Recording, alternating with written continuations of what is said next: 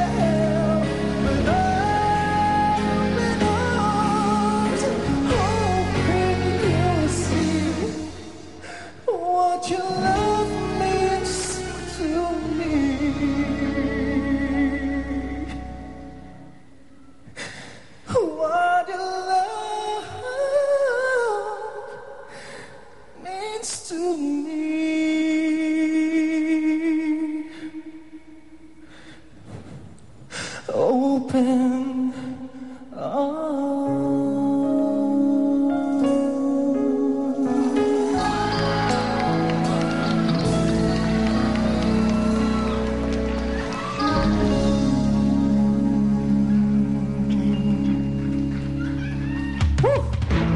Ba kayong mga panyo dyan?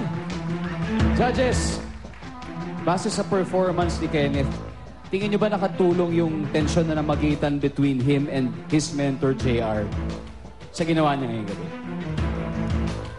Mr. Joey De Leon. Ako, ah, na- natigagal ako. Ah, um, hindi ko masyado mag-ano sa pagkanta mo. Mag magaling ka naman eh. Open ka ba talaga sa mga... Hindi, open ka sa mga... pro- Kasi halos... Halos umiyak ka na eh. Ah, gusto kong tanungin tungkol doon sa... May nagsabi doon sa isang membro ng ano kanina. Open ka bang sagutin yung echusera na sinasabi? Anong tingin mo... Hindi, hindi. Para... Sige, maging open ka. Anong... Anong take mo doon? Bakit niya sinabi yung... Yung membro ng... Yung kay Ray Valera? So what? Yung so what? Oo. Ano, anong tingin mo? Ba't niya sinabi yung echusera ka? Um, hindi ko po alam kung bakit. Oo, yun lang. Eh, tama yung ginawa mo. Pag, ang pag-awit daw eh, kailangan eh. honest ka yung sa feelings mo. Mukhang open na bang arms mo for JR? Okay na kayo? Kasi nakita namin, oh yan. Tape yung nakuha na nakita namin eh. Kaya gusto ko makita. Nag... Okay na kayo? Yung, Okay na po. Okay, okay. Ayos na yung kanta mo. Parang minapo na lang ako, minamiss ka atang word. Ganyan na isa. Sadya ba yun? Second. Eh, Sinadya ba yun? Yun hindi ko alam. Eh.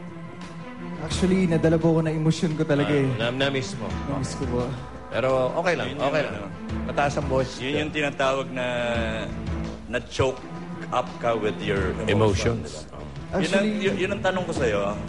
Yung bang emotion na nilagay mo sa kanta is because na naapektuhan ko ng mga nakaraang episodes niyo doon sa loob ng Protege uh, house or nilagay mo lang yan dyan ngayon para mas maging effective yung performance mo? Ah, actually po, yung performance ko po ngayon, yung napiling kanta ng mentor ko for me. Pilit kong nilagay yung sarili ko dun sa kanta. Gusto ko lumabas yung kanta na totoo. Totoong nararamdaman ko. Kasi, Kenneth, I'm sorry ah. Medyo nasobrahan ka sa akin eh. Parang OA eh, ang dating. Yung mga pahikbi-hikbi, ah, hindi ko masyadong type. At kung hindi mo na Diretso na kita. at kung hindi mo rin na po na direct, ang initials ng open arms ay OA. hindi nga. Pero hindi kaya nga. Tama yun. Medyo medyo, medyo nga rin, medyo sumobra talaga eh. Ah, Nataon lang, nataon. Di ba, di ba lagi kong sinasa... Twice ko na sinabi sa'yo, minsan you're too much in control, di ba? Lagi kang parang nag-iingat. Para ngayon, nakita ko kung bakit. Kasi pag binigay mo, medyo nawawala ka eh. Ito ngayon, doon sa mga birit, yung mga pag, pag ah, modulate, pagkambyo, parang medyo na-off ka ng konti. Parang, siguro nga, carried away ka ng emotion, no? Pero, babalik tayo ngayon sa control. You have to control that. Ako naman, pwed, hahabol ako ah. Ako naman, nagustuhan ko yung performance mo. Parang yung problema mo sa bahay, iniwan mo, at the show must go on, kumanta ka ng maganda rito. Ngayon, actually, kapag sa malaking venue at yung mga arte, yung pag-OA mo, actually, tama yun. Kaso, napalapit ka sa amin, kaya medyo umu-OA nga. Pero sa malaking venue yan, Okay. tamang-tama yun. Parang kinukontra mo si Bert lagi, ah, Louie. Parang, JR, proud ka ba sa ginawa ni Kenneth? Ako, proud na proud talaga. Sabi ko sa kanya talaga, uh, ipasok yung character niya sa, sa, sa kanta. Sabi ko din, okay nga eh, na talagang ilabas mo na nag-away kami, ganito, ilabas sa stage para makita talaga ng viewers na talagang sorry siya at ano na... Pero okay na kayo, okay na talaga. okay na kami. Ito nga, open Iyon, no? na nga kami. Yan. Alright, maraming salamat. JR and Kenneth, kung sa tingin nyo, eh dapat pa magpatuloy si Kenneth sa kanyang battle for the big break, vote for him by texting Protege Space Kenneth and send to 367 for Smart and Talk and Text or 2344 para sa Globe TM and